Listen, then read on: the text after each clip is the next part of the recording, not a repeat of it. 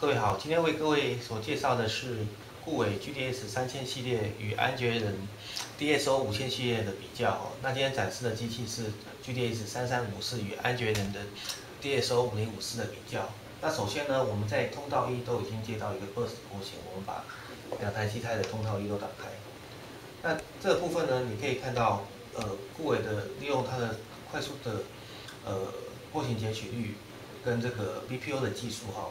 我们在波形的部分有比较多层次的展示，我们在透过这个 display 的，然后呃 intensity 的部分，我们来调制它。呃，我们比如说我们把它的强度调在百分之四十的时候，可以看到波形有这明显的强弱的的分布的变化哦。那在安全的部分呢，它当然也可以调调制它的 intensity，可是在这个部分呢，你可以看到它波形的显示几乎都是一致的哦。所以。固伟 GDS 三千与安捷伦 DSO 五千 A 波形显示技术相比也不遑多让。另外的部分呢，我们在呃显示的部分也可以选择一个 Color Mode 部分。那 Color Mode 部分你可以看到有不同颜色的。那以红色的话，就是它的波形出现的次数是比较高的哈。那这个部分也很清楚的可以判断是偶发波形跟实际波形，或是你测试一个视频讯号的部分这样子。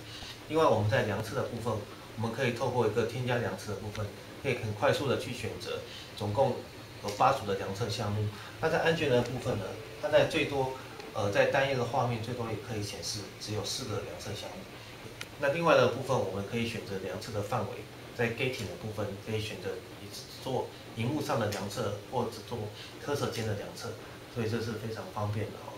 OK，另外我们可以把你量测项目全部都展开哦，这个也是太这个安全人所没有的，OK，。所以我们在量测的功能是更方便、更便利性的。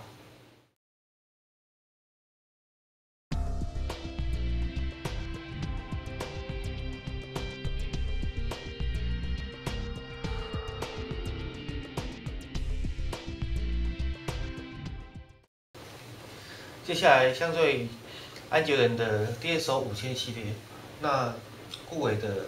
GDS 三千系列，我们有一个全新的分割画面的功能。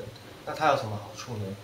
因为当你在呃有许多通道一起要观测的时候，如果你没有分割画面的时候，就像呃可能有一个呃画面上会有重叠的一个现现象哦。那当我们利用呃 GDS 三千系列一个分割画面的话，你可以很清楚的看到各画面的一个呃实际的一个展现的状况这样子。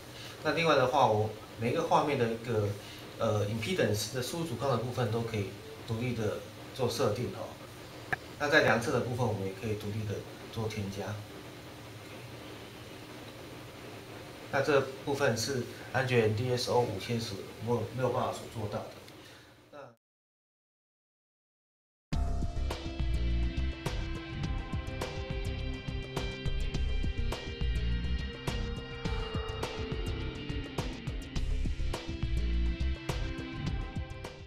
接下来呢，呃，GDS 三千有一个新的一个功能是所谓的 Auto Range 功能。那在 Auto Range 功能启动下呢，我们可以在量测不同讯号，它都会调整到一个很非常适合观测的一个呃显示状态哈。比如说我现在是启动 Auto Range，那我现在是给一个标准方波。那当我呃换到一个 FM 的讯号之后呢，它会自动调试到一个非常适合观测的一个波形。那我再把它调整回来，